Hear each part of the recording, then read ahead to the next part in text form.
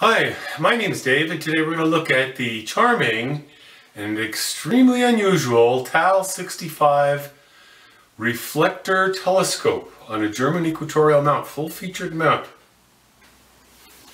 Okay, here's the box for the TAL 65 telescope. Just to prove that it's Russian, there it is written in Russian. Let's open this up and see what we've got.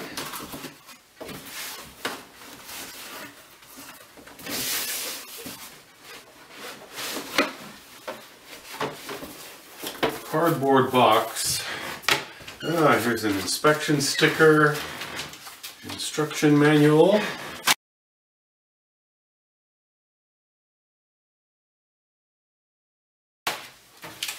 Maybe something else in there. Okay, so here's an eyepiece. And here's a, like just an extension. This would be a Barlow, effectively.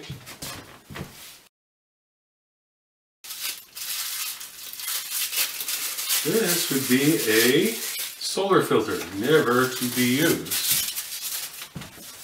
Why they put those in? This is a fairly modern telescope.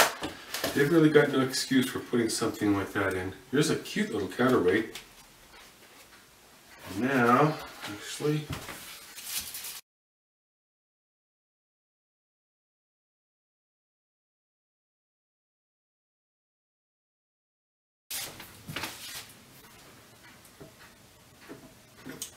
this is uh, this is all metal here this is all metal. It's all metal, nice, well constructed.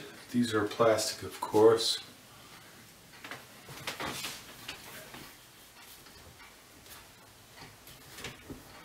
Give you a look at the front of the scope.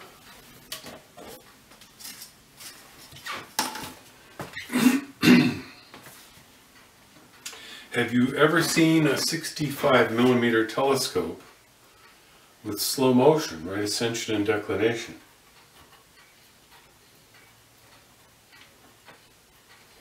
These are phenomenal. And they're not just little tangent arms either, they go all the way around.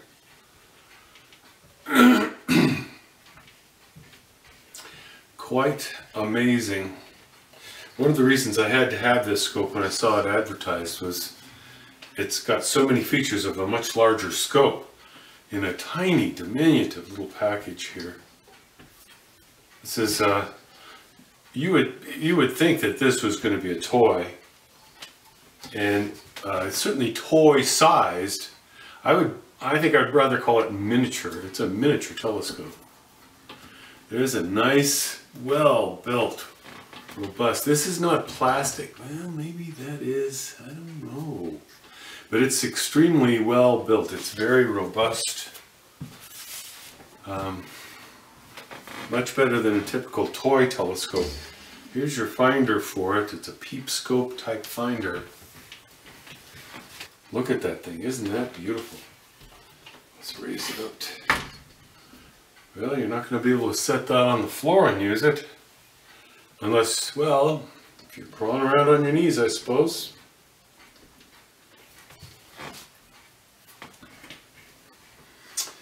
Okay, let me give you some close-ups. Okay, let's take a close look at this mount. First of all, you've got the uh, latitude adjustment. It even has the indicator here. Lock it down. It's nice. This is metal. It's nice and sturdy, nice and robust. Uh, this thing, can raise and lower it? Right there. Here's right ascension. There's the lock. Lock it down. There's your slow motion. Very very nice and sturdy and robust. Quite a bit of overkill for this little telescope. Uh, this piece appears to be plastic but it's nice and robust. It's nice and strong. And I got a similar kind of situation up here turn that you can see how that's moving like that a little bit stiff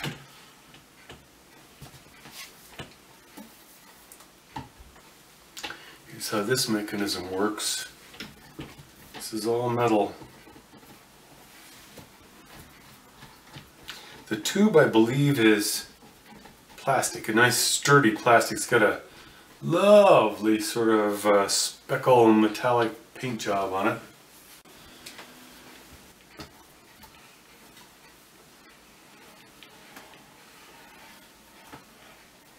There's the focuser. I think I would, uh, I think this is probably metal. I think I would compare that in quality to say a Zeiss or something like that.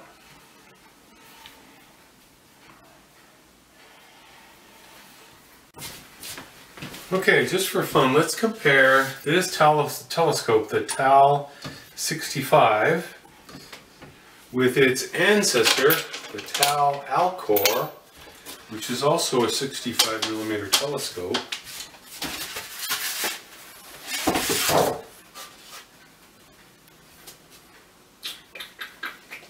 Let me see if I can get this set up here.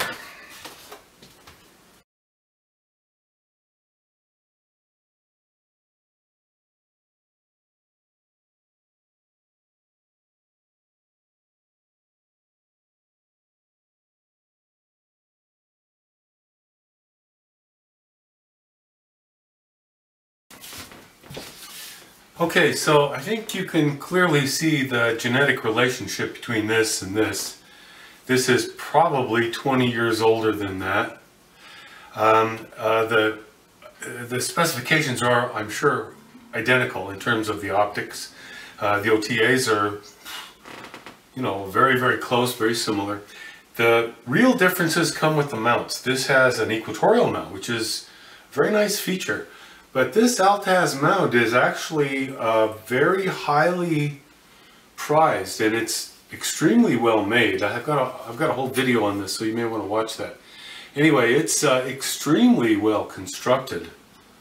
And for an Altaz mount, boy, it's not bad at all. And it's, it's much beefier here. This also has an extension that makes it uh, so much taller so that it's a bit more convenient for work working from the ground.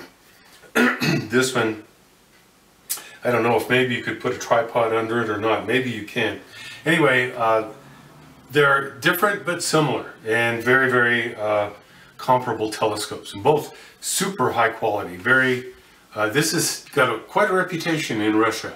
Apparently, it's uh, considered to be the one of the archetypal telescopes from the, you know, 15, 20, 30, 40 years ago. The eyepieces supplied with this telescope are, I would say, not the greatest. They're, this is a Huygens design.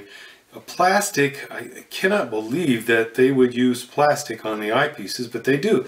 It's a plastic housing. It's a nice, sturdy, firm plastic, so it's not that bad.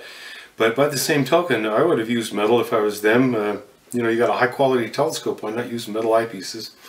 And a Huygens design, which is pretty uh, horrible to tell you the truth. It's really not a bad eyepiece, but you have to have your eye right on top of the eyepiece to be able to see very much. And it's got this interesting, strange design where you can use this eyepiece by itself for low power, this eyepiece with this for, um, this is effectively a Barlow, for higher power, and then this combined with this and that for an even higher power. I hope you've enjoyed watching this video on the TAL 65mm telescope. Thank you very much for watching.